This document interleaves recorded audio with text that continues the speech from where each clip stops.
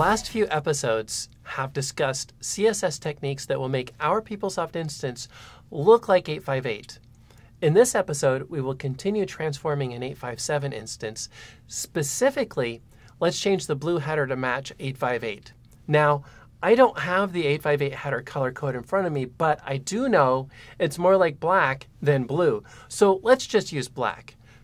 Let's start with Fluid. We brand Fluid differently from Classic, so let's start first with inspecting our PeopleSoft interface. Looking at the HTML, I see a complex series of nested HTML elements. Which one contains the background color? I don't know. That's a great question. So let's hover over the elements to find first the outer header element. We will know the outer header element because it will be the last element that highlights just the header region. The very next element will highlight too much of the browser's window. So working our way up, we see header. Okay, let's keep going. Header, Let's keep going. Header. Too far up. I see this has an ID of PT wrapper. Let's keep that in mind for later. Now, using the Styles panel on the right, I'm going to switch to the Computed tab. Unlike the Styles tab, which shows everything, the Computed tab just shows me what is applied and where that comes from. So what we're looking for is a background attribute that sets the background color. It might be an image. So I'll just use my keyboard to move down through the HTML structure until we see an HTML element with a background. No background. No. No. No. Oh, there it is. Background image. I see that it's the banner. Oh, that makes sense. And I see that the CSS comes from PS Style Def mode. That's great because in a prior episode, we learned how to properly customize PS Style Def F mode. So now let's apply some styling. We'll start by defining a style rule to reset the background image.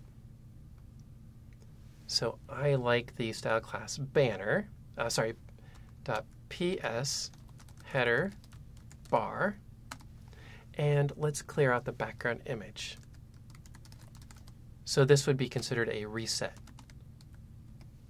Oh, do you see that blue bar at the bottom of the header? Huh. I wonder where that's coming from.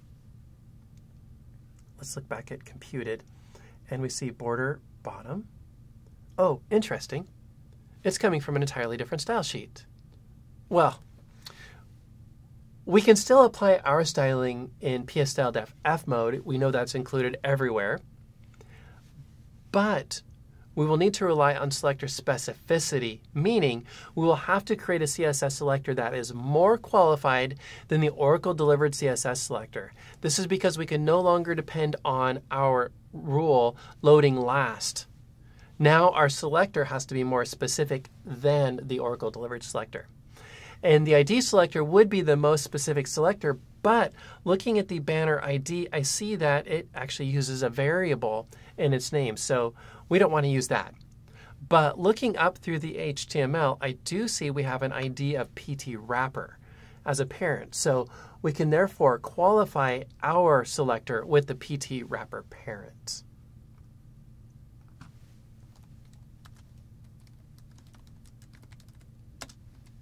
And we can see that it matches because the color stays a darker bold. Let's now get rid of the border.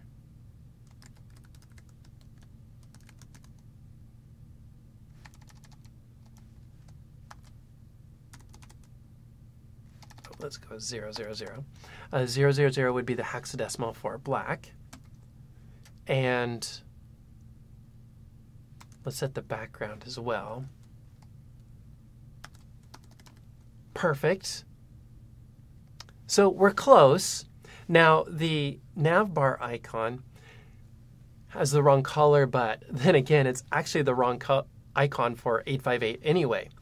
Also, the hover effect for each of the other buttons is showing the wrong color, but hey, I'm happy with what we have so far. So, uh, you know, we've made it so far with so few lines. Let's just persist what we have in a freeform style sheet in Application Designer.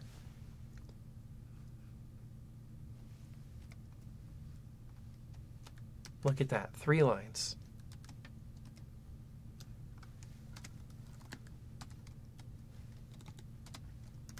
And we'll save it. How about our site-specific prefix, theme, 858. Now this is for Fluid. What I mentioned earlier is that we actually style Classic different from Fluid. And we'll use FF because this is a freeform style sheet. Now let's attach it to PS F mode.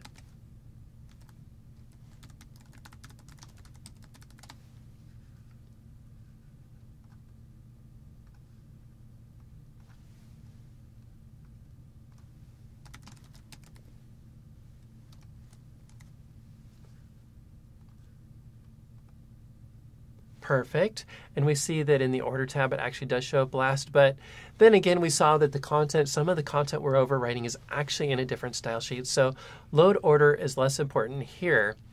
And selector specificity is what rules here. So let's refresh and make sure that our content stuck. And there it is. Perfect. Okay, to apply to Classic, we must first write some Classic specific CSS. So let's navigate to a classic component. I'm going to choose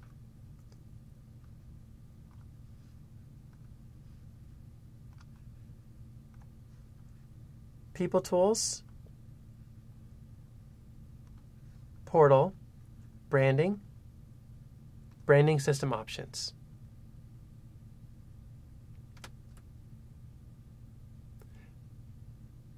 Out of the box, the classic header looks like the fluid header, but they use entirely different HTML and therefore require different CSS. Let's inspect the header here. And looking at the Styles tab, specifically at the Computed tab, it appears that the classic header is, is styled through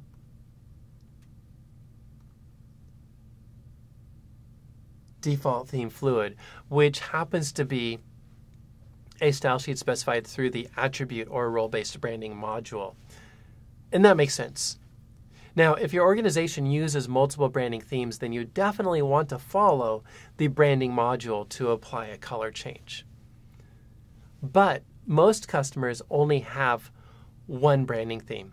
And if that is you, then we can globally transform the classic header with very little effort and do it all as a configuration. No customization. You see, the component we are viewing right now allows us to apply CSS globally. We just need to create the style sheet and attach it here. If we take this approach, our CSS selector does need to be more specific than Oracle's. But hey, Let's save that for another episode. So, the CSS tricks we've demonstrated in the last few episodes have prompted us to create a new, pre recorded, on demand PeopleTools branding training course. Now, it isn't ready yet, but when it is, we'll be sure to let you know. So, be sure to subscribe so you don't miss our announcements. And you can also follow us on LinkedIn, Twitter, and Facebook to stay up to date with all of our course offerings. I included our social links in the video description. Now, if you enjoyed this episode, be sure to like, share, comment, and subscribe for more content. And we look forward to seeing you in the next episode.